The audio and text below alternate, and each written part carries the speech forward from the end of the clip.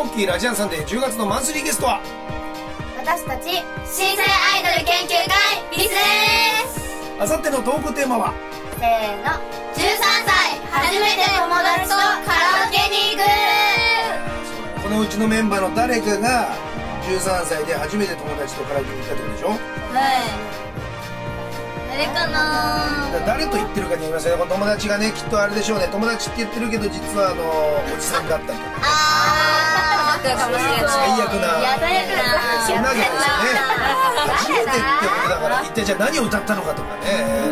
それで何を食べたのかとか。うんそうだよね。あのソフトクリームとかも食べ放題だったりとかあね。一体どんな話になるのか。この後誰が友達と初めて13歳でカラオケに行ったかが分かります。あさってでございます。あさってのポッキーラジャンさんでお楽しみに。楽しみに。楽しみに